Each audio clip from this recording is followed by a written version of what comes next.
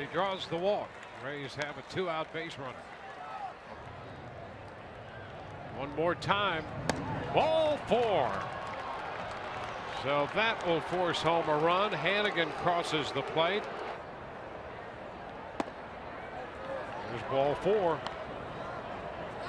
Runner goes. The pitch is inside ball four.